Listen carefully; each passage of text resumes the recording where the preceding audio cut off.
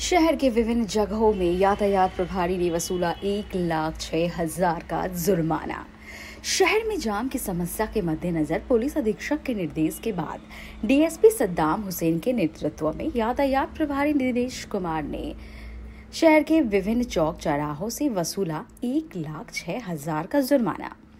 बता दें कि जहाँ एक तरफ़ यातायात प्रभारी दिनेश कुमार सभी वाहन चालकों से अपील कर रही है कि कोई भी शहर में गलत तरीके से अपने वाहन को पार्क ना करे, लेकिन कुछ लोग हैं जो अपनी आदतों से बाज नहीं आ रहे हैं। जिसको लेकर यातायात प्रभारी दिनेश कुमार इन दिनों फुल एक्शन में, कभी एमजी रोड में तो कभी विनोदपुर में लगातार जाम की समस्या से निपटने के लिए तैयार है।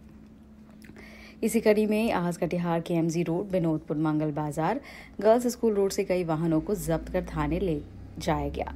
तो कईयों ने हाथों हाथ चालान कटवाए यातायात प्रभारी दिनेश कुमार केटीएन न्यूज़ को पुलिस अधीक्षक के निर यातायात प्रभारी दिनेश कुमार केटीएन न्यूज़ को बताया कि पुलिस अधीक्षक के निर्देश पर डीएसपी के नेतृत्व में शहर के विभिन्न भीड़ भाड़ इलाकों में कहीं भी जाम की समस्या न लगे, इसको लेकर इस तरह का अभियान चलाया गया है। और लोगों से अपील करते हैं, अभी कहाँ? और लोगों से अपील करते हैं, अभी शहर के सभी वाहन चालक तेज गति से वाहन ना चलाएँ और वाहन चलाते वक्त हमेशा कागजात को साथ रखें।